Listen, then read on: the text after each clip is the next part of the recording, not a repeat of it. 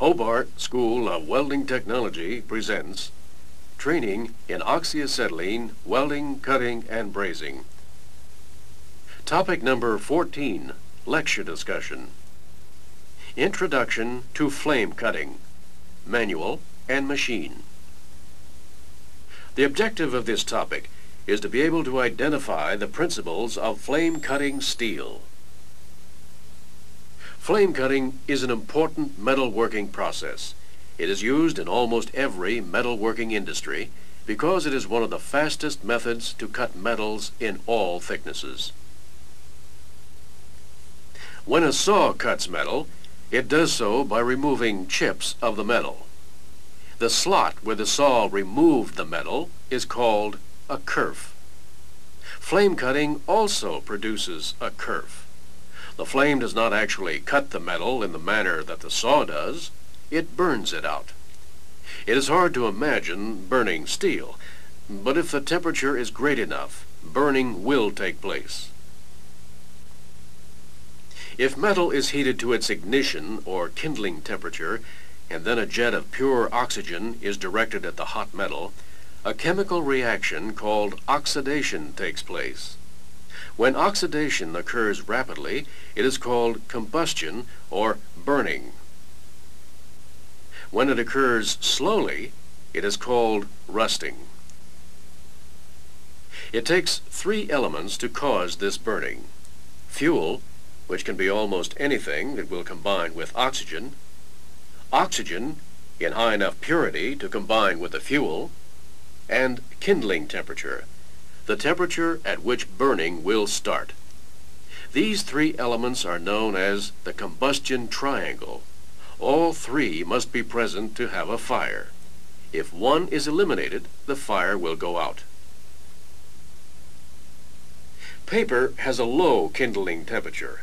It catches fire quickly and continues to burn because it generates enough heat to maintain its kindling temperature.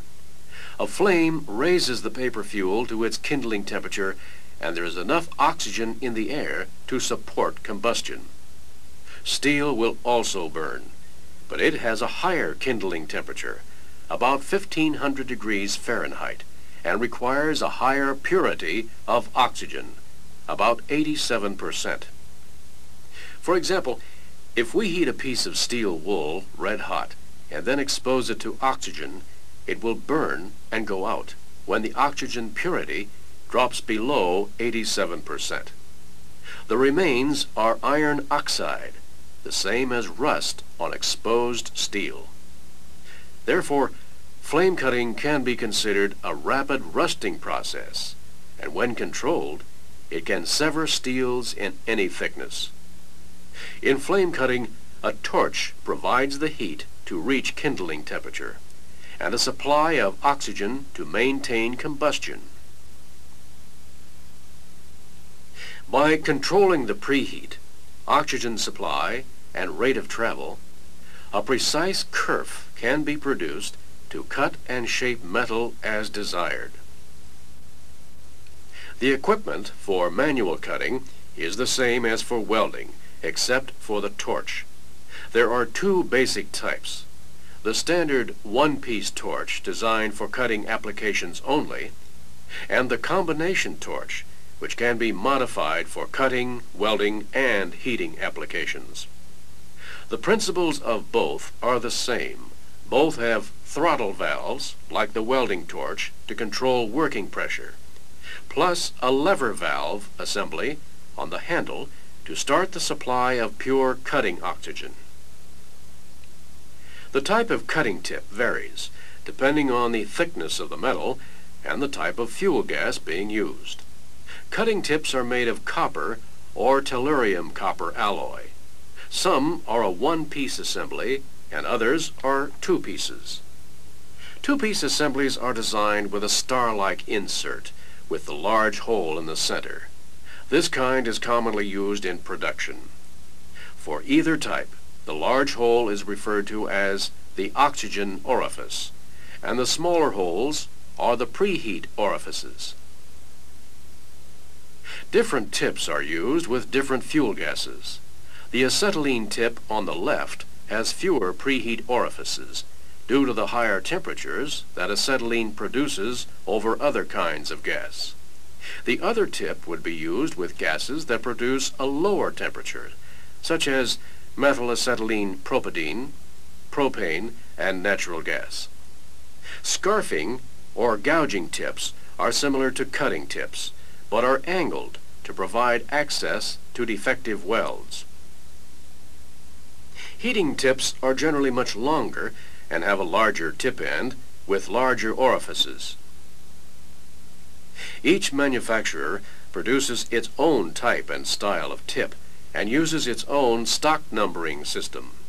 For this reason, most welders refer to the manufacturer's specifications to determine the proper tip for their application. Oxy-fuel flame cutting is commonly used manually with handheld torches, but with specialized equipment and attachments, the process can be mechanized to cut precise shapes and straight lines. For example, the straight line tracker machine is designed to ride on a track and can cut a line for as long as there is track to ride on.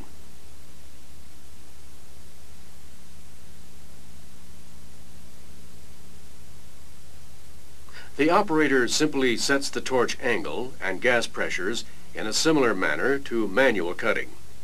The tracker itself provides the travel speed and guidance along the cut, but the operator must set the track in line with the cut, or vice versa, and set the travel speed on the tracker mechanism. Once all settings are made, the torch is lit and the start of the cut is preheated. Then the cutting oxygen is applied and the tracker is started in the desired direction.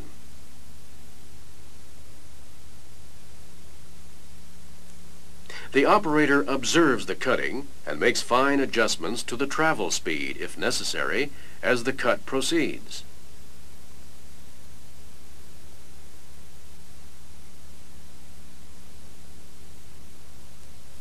A process known as powder cutting can be used to cut materials which do not oxidize readily by directing iron powder close to the preheat flames which permits the cutting oxygen to sever through the material.